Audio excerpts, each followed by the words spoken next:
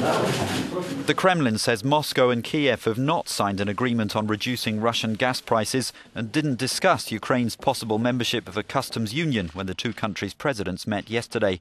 The unscheduled meeting took place in the Russian Black Sea resort of Sochi.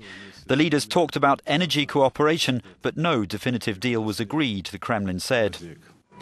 A Ukrainian opposition leader had warned that an accord with Russia would be a political and economic catastrophe.